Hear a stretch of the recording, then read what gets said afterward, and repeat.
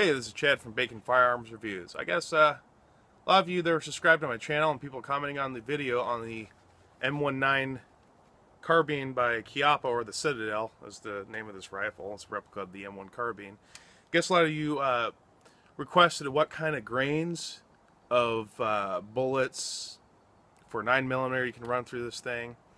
And also I'm going to add in mags too and test out pro mags gi models for m9 berettas and you know just the mag that goes comes with this and test it out see it actually there is no failure to feeds so this is just more of a reliability test to see what kind of mags are out there for the m19 carbine citadel by Chiappa.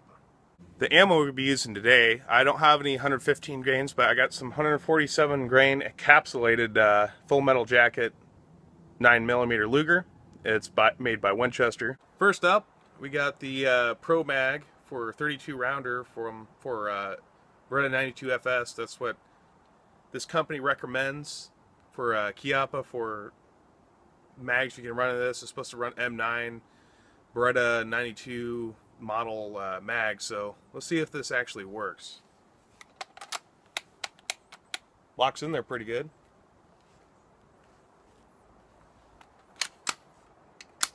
Already a failure to feed. It's not looking good. So that'll be a no on the Pro Mags. Let's test out the factory mags that come with it. Uh, these are 10 rounders, but I actually uh, modified it so it can hold 15, actually 16, actually squeezing this mag. So we'll see if this actually works. All right, so I put the full 16 rounds in the factory mag. We'll see if this will run through it again.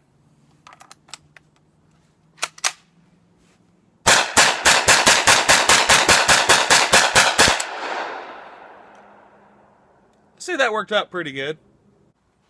Now we got the M9 factory or uh, government mags for the M9 Berettas. So we'll see how this thing works out with this.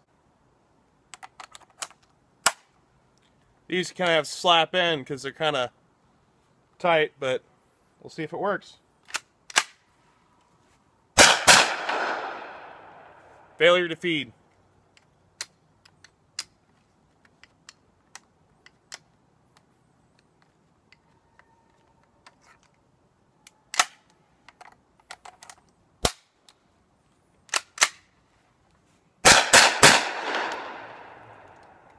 Mag popped out.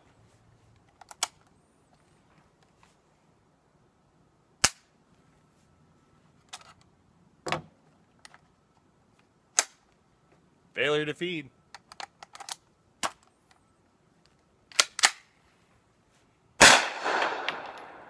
Failure to feed.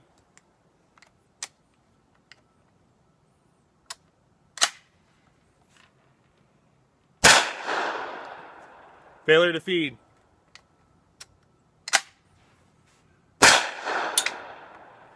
Failure to feed. It's not looking good for these.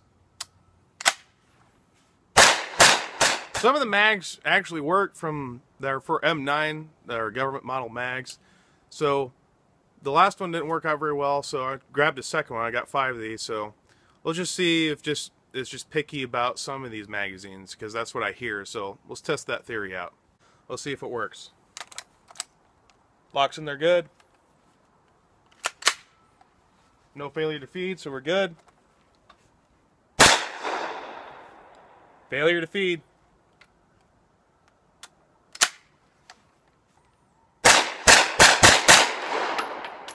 Failure to feed.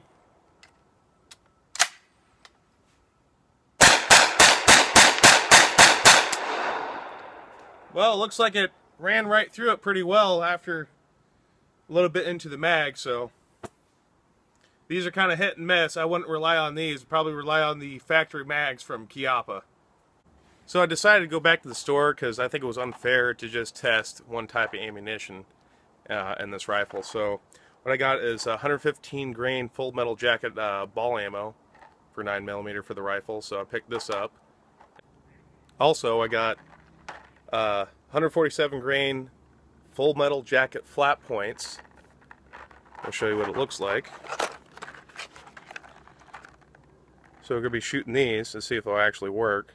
So first we're going to test out the uh, 115 grain um, full metal jacket uh, 9 millimeter from American Eagle. Let's see if it works. Now we got the factory uh, magazines. I'm only putting 10 rounds in it, so uh, that way we could conserve on ammunition. If it could go through 10 rounds, then that'll be plenty. So we'll see how it goes. Locks in there good. In the chamber good.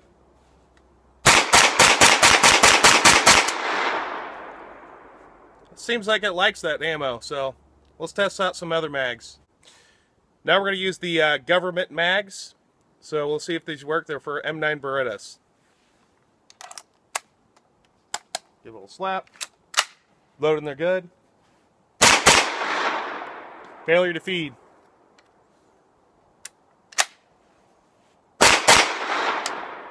Failure to feed.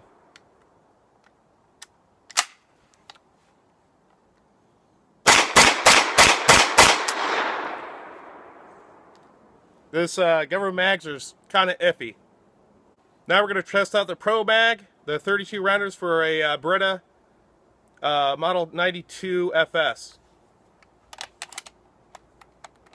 Wiggles a little bit, but goes in there. Loaded up pretty good. Failure to feed.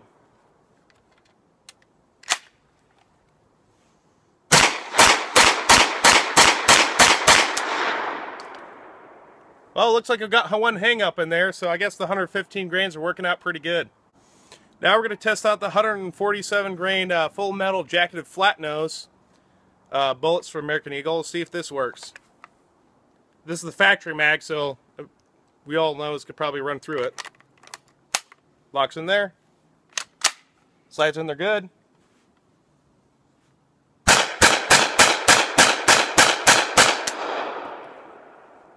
Works pretty well with that ammunition. Now we're going to test out the government uh, Beretta or Beretta M9 mags.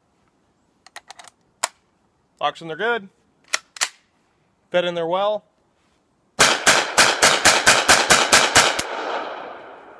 Wow, I mean, that worked pretty well. Usually there's a hang up on the government mag. Now we're going to test out the 147 grain with the uh, the Pro Mag. So we'll see if this actually works.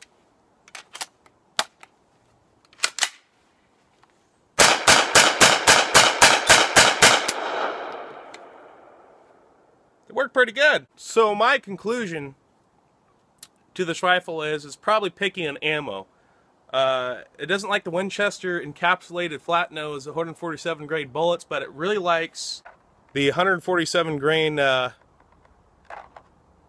full metal jacket flat point. It really likes this ammunition, so I'd probably go with this if you could use a 32 rounder. So I was kind of surprised with that result. So uh, yeah, just the 32 rounders. It's going to be etchy um, with the ammunition. So if you're going to use the uh, Pro Mags which are the Beretta 92 models, it's going to be uh, kind of picky on ammo. The factory mags on their hand, they're not too picky. So, I mean, even even with that uh, Winchester ammo, yeah, you had one hiccup, but actually ran through the ammo. So it just depends on what mag and what kind of ammunition you have. So it's kind of picky on both the mags and also the ammunition. So uh, that's my conclusion to the video. Hope you guys enjoyed. Hopefully this was helpful for your uh, purchase in the future for M19 Carbine Citadel. And like always, have a bacon of a day.